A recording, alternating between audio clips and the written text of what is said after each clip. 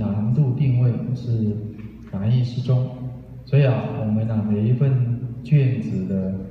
平均通过率大致啊是啊百分之五十到百分之五十五，也是难度啊啊差不多是点五零到点五五左右。那啊，所以呃，考生们呢在啊准备考试的时候啊，不用担心。有很多很艰涩的题目，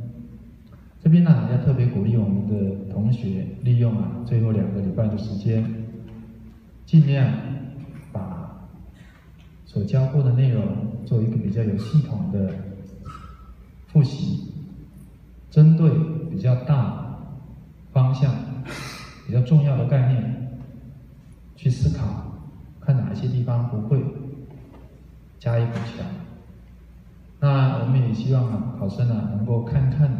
以往这两年的旧的考题。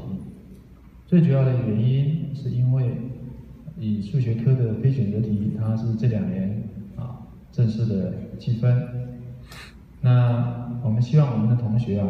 啊不要因为啊担心不是选择题就不愿意写。我们在新泽中心的网站上都有公布了这几年的题目，只要考生他愿意啊，针对试题的内容加以想象、加以表达，把自己的数学观念沟通出来，尝试解出来，极有可能就会有成绩。